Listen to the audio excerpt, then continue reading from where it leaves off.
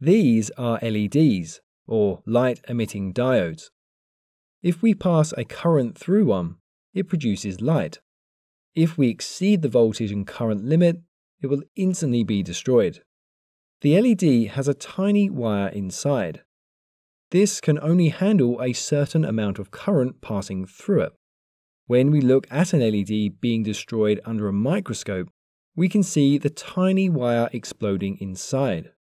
So, how do we connect LEDs? How do we reduce the current to keep the LED safe? And how long will a battery power our circuit for? That's what we'll be covering in detail in this video. To protect our LEDs, we use a resistor. The resistor is going to make it harder for electrons to pass through. The electrons are going to collide and this will generate heat. The resistor will become hot and we can see that with a thermal imaging camera. For example, this one is over 150 degrees Celsius at just 12 volts with a current of 6 milliamps, so we definitely do not want to touch this. The resistor can be placed on either side of the LED, although we traditionally install this on the positive side. The reason it can be installed on either side is because the resistor is restricting how many electrons will flow in this simple series circuit. The resistor acts something like a traffic jam, reducing how many electrons can flow. Most people incorrectly assume it acts like a speed bump, and that the electrons must be slowing down just before the resistor and then speeding up again. The speed of the electrons remains constant. The number of electrons flowing is what changes. The higher the resistor value used, the lower the current will be, and so the dimmer the LED will shine. We need to remember that LEDs will only allow current to flow in one direction, with the positive connected to the long lead and the negative connected to the short lead. If we connect the LED the other way around, it will simply block the current and the LED will not turn on. You can test this circuit yourself. Take a red LED, a 9 volt battery, a resistor of between 360 and 390 ohms, another higher value resistor of between 3 kilo ohms and 9.1 kilo ohms, and a multimeter. Connect the low value resistor and the LED to the battery in series, and the LED will illuminate. I'm using a breadboard for this, which makes it very quick and easy to test electrical circuits. But you can also just twist the wires together, you could solder them, or you can use some connectors, and it will all work fine for this simple experiment. Notice that if we turn the LED around, we see it blocks the current so it will not illuminate it only works in one direction. If we replace the resistor with the high value 9.1 kilo ohm resistor, we see the LED is very dim. We can also connect them in parallel to compare the brightness. So now with the 360 ohm resistor and the LED in series, we can connect our multimeter into the circuit, making sure to place the multimeter into the current reading mode we should see somewhere between 17 and 20 milliamps, depending on which LED and resistor you've used. We can switch the position of the LED and the resistor. It will work fine and give us the same current reading. Now remove the multimeter from the circuit and place the multimeter into the DC voltage mode. Measure across the two far ends of the circuit and we should see around 9 volts. This is what the battery is providing to our circuit, and it is also equal to the total voltage drop of the circuit. Now measure across the LED, and we should see around 2 volts. This is the voltage drop of the LED. It's removing 2 volts from our circuit. Now measure across the resistor, and we should see a voltage drop for the remaining 7 volts. So 2 volts plus 7 volts is 9 volts which is the same as our battery. You might have noticed that the values measured weren't exactly 2 volts, 7 volts, or even 9 volts. There's always going to be a difference between the design and the actual measurement. For example, this resistor is rated for 390 ohms. But when we measure it, it's actually 386 ohms. Each component, including your multimeter, will have an error tolerance. It will be close to the design value, but never exactly this value. For most circuits, like these simple ones, it doesn't matter. We can assume the design values are correct. Just remember that the values we calculate will always be slightly different to our actual measurements.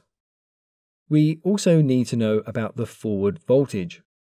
This is basically just the voltage drop we measured earlier. The manufacturer will provide a chart like this one, which shows the forward current at a given forward voltage. So, if we connect a voltage source across the leads and apply 2 volts, we should see 20 milliamps of current flowing. If we supplied 1.6 volts, we should see 0 milliamps because the LED will be off. The chart for this LED begins at around 1.7 volts. So we know that we need to provide a minimum of 1.7 volts for this LED to start illuminating. We can test our LED's minimum opening voltage using a multimeter. If you select the diode mode on your multimeter and then connect the red lead to the long anode and then the black lead to the short cathode of a red LED, we should see something like 1.7 volts. So this is the minimum voltage required to turn the LED on. Most standard LEDs are rated for a current of 20 mA or 0.02 amps. We want to try and stick to this value. If we go below this, then the LED will be dim. If we go too far above this, then the LED will be destroyed. We can go above 20 mA, but the lifespan of the LED will reduce the higher we go. We'll see how to calculate that a little later in the video.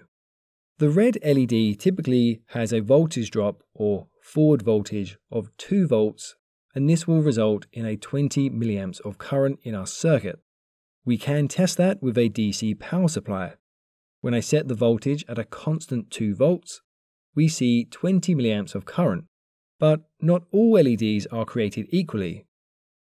This one doesn't reach 20 milliamps until 2.1 volts are supplied, and this one doesn't reach 20 milliamps until 3.7 volts is applied. This variance is due to the materials used and also the manufacturing process undertaken. So you should always try to use LEDs from the same batch and also from reliable manufacturers. LEDs also come in many different colors, and each color has a different voltage drop also. So you will need to look these values up from the manufacturer's data or you can also test them yourself, or you can use these typical values from these standard charts, but they might not match the LED you actually have. Okay, that's the basics covered, so let's move on and make some example circuits. Let's say we have a 3 volt supply and we want to connect a single red LED. What resistor do we need? Well, we know this wire is 3 volts and this one is our ground wire, which will be 0 volts. The LED has a voltage drop of around 2 volts, and so our resistor needs to remove the remaining voltage. So 3 volts subtract 2 volts equals 1 volt. We know the LED needs a current of around 20 milliamps. So 1 volt divided by 0.02 amps equals 50 ohms of resistance. Make sure you convert your milliamps to amps for this calculation. To make it easier, we do have a calculator on our website where you can just input your values. I'll leave a link in the video description down below for that. Okay, now you try to solve this one before I do. Let me know your answers in the comment section down below. Let's say we have a 9 volt battery and we want to connect a yellow LED which has a voltage drop of 2 volts and requires 20 milliamps of current. So what size resistor is required? Well, we have a 9 volt supply, so subtract 2 volts for the LED, and that leaves us with a 7 volt drop for the resistor. The current is 20 milliamps, so 7 divided by 0.02 amps equals 350 ohms of resistance. Now, the problem is that we don't have a 350 ohm resistor. We only have a 330 ohm or a 390 ohm. So which one should we use? As we saw earlier, we need to ensure the current doesn't exceed 20 milliamps. So we will have to calculate which resistor suits us best. To do that, we just divide the required voltage drop of 7 volts by the resistor value of 330 ohms to get 0.021 amps. And then if we do the same for the 390 ohm resistor, we will get 0.018 amps. Both of these values are very close and they both will work. But to be safe, we will choose a 390 ohm resistor as our LED will therefore last longer. We can also combine resistors to get the exact value we need, and I'll explain that a little later in this video. We will also need to choose the resistor power rating. We can calculate this using the formula power equals current squared multiplied by resistance. So 0.018 amps squared multiplied by 390 ohms gives us 0.126 watts. So a 1 quarter watt rated resistor will be fine for this circuit. How long will this battery power our circuit for? Let's say this battery is rated for a typical 500 milliamp hours. We simply divide this by our total circuit current, which in this case is 18 milliamps.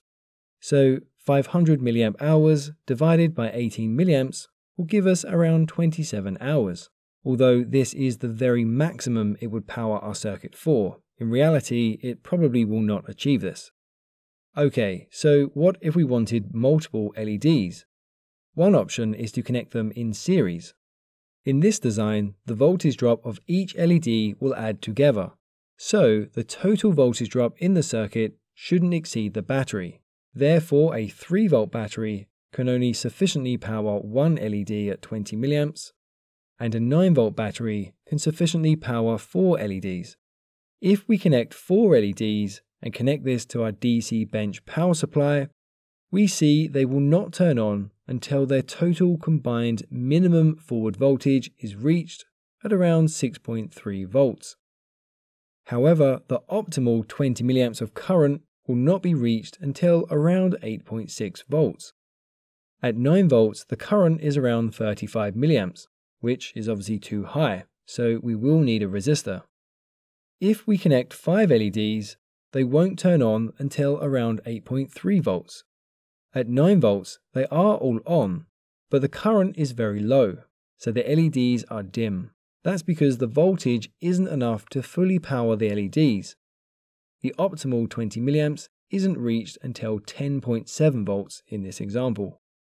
So we can use this method, but we are limited by the voltage of the battery. What if we want more LEDs? Well, we need to connect them in parallel. We can either place a resistor on each LED, or we can use one resistor to feed all the LEDs. Let's start with the first example. This design lets us use different color LEDs, although it's easier to calculate if they are all the same color. Let's say we want to connect 6 LEDs to this 9 volt battery. Each LED has a voltage drop of 2 volts and requires 20 milliamps. This entire rail is 9 volts, and this entire rail is 0 volts.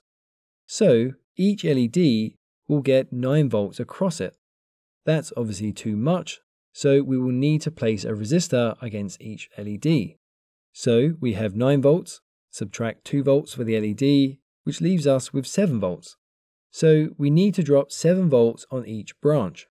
We calculate the resistor value by 7 volts divided by 0.02 amps, which equals 350 ohms. And then we find the power rating. So 0.02 amps squared multiplied by 350 ohms gives us 0.14 watts. So a 1 quarter watt resistor will be used. Then we need to add up all the currents in each branch. So 0.02 amps multiplied by 6 LEDs gives us 0.12 amps. A 9 volt battery has a capacity of around 500 milliamp hours, and our circuit is using 120 milliamps. So 500 divided by 120 gives us around 4 hours of runtime. We can see that there is still enough voltage on each branch to connect more LEDs. Let's say we place three LEDs on each branch. So each branch has a reduction of 6 volts. Therefore, 9 volts subtract 6 volts equals a 3 volt drop by the resistor. So 3 volts divided by 0.02 amps gives us 150 ohm resistor. Notice the total current in each branch didn't increase. So we can add more LEDs until the maximum voltage is reached. If we want to use different color LEDs, then we place the different LEDs on the different branches and we find the suitable resistor.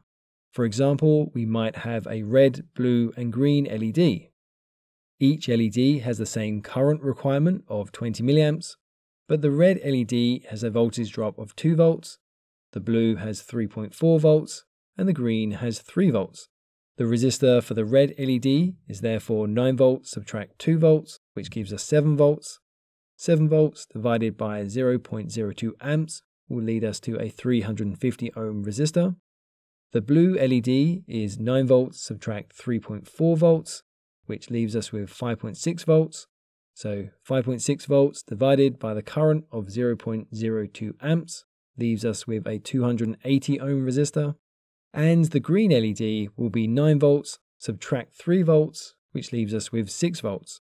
6 volts divided by the current gives us a 300 ohm resistor. The total current is therefore 60 milliamps.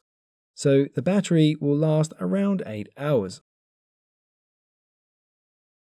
The other way we can connect LEDs is by connecting them in parallel and then using a single resistor to limit the total current. For this design, you should only use the same color or the same rating LEDs. We'll see why that is shortly in this video. Let's say we have a 9 volt battery and three red LEDs, all with the same voltage drop of around 2 volts, and they each require 20 milliamps of current. So we just add the currents together to get 60 milliamps, and that current has to flow through this one resistor. Now, as they are connected in parallel, they will all have the same voltage difference across them. Therefore, we calculate the resistor by 9 volts subtract just 2 volts equals 7 volts. Then, as all the current is flowing through this one resistor, we will need to divide the 7 volts by the 60 milliamps, and that will give us a 116 ohm resistor. The power calculation comes out at 0.49 watts, so a half watt resistor will be used. The reason we need to use the same rating LEDs is because the voltage difference across here is just 2 volts. So if we use the same rating LEDs, they will all illuminate. But if we place a blue LED in the circuit, this requires a higher voltage, which it will not be able to get. So this LED will not turn on. Now, when we deal with these circuits, we often find that the resistor value we have calculated doesn't exist, or we simply don't have it in stock. So we can combine resistors to get the value we need. For example, if we wanted a 200 ohm resistor, we could place two 100 ohm resistors in series, or we could place two 50 ohm resistors and a 100 ohm resistor. The resistor values will just add together in series, which makes it very easy to increase the resistor value.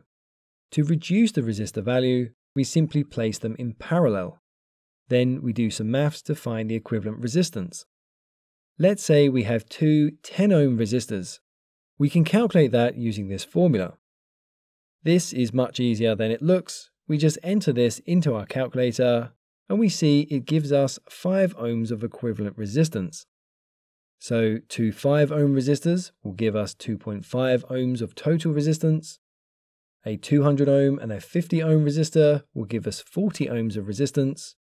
And three 10 ohm resistors would give us 3.33 ohms of resistance. How can we tell the value of a resistor?